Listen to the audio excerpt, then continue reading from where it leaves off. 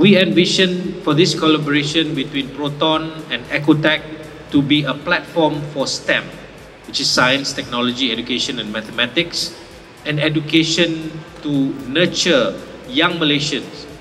Proton DX has the potential to engage with the right rakyat in a manner that offers plenty of educational value.